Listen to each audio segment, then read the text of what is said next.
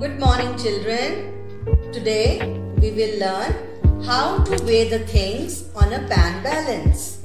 For this, let's make a pan balance with the help of disposable glasses, a hanger, 8 strings of thread cut into equal length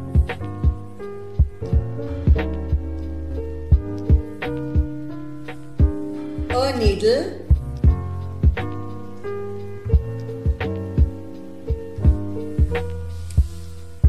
marker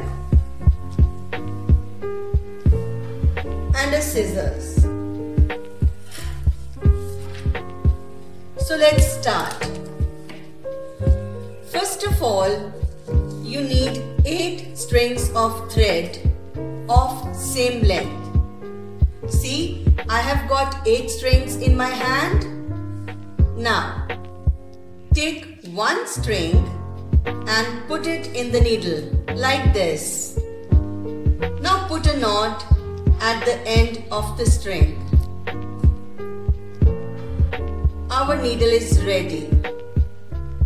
Now take one disposable glass with a marker Put dots on it at equal distance. See? I am putting the dots. Okay. Now, take the needle, pierce it from inside the glass like this. Now see, after piercing from all the four sides, it will look like this. Tie a knot at the top. Now, I have to prepare two glasses in the same way. After this, take a hanger hang the glasses on both the sides. One side and the other side.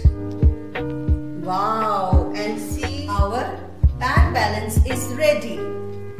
Now children, you can enjoy weighing your small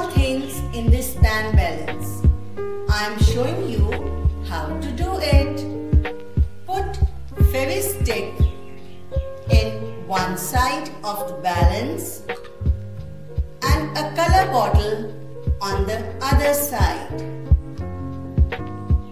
See, the side with the color bottle is going down means it is heavier than a Fevi-stick.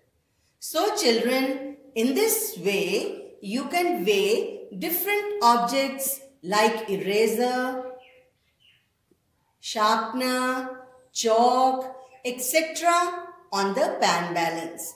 And enjoy this activity. Bye-bye.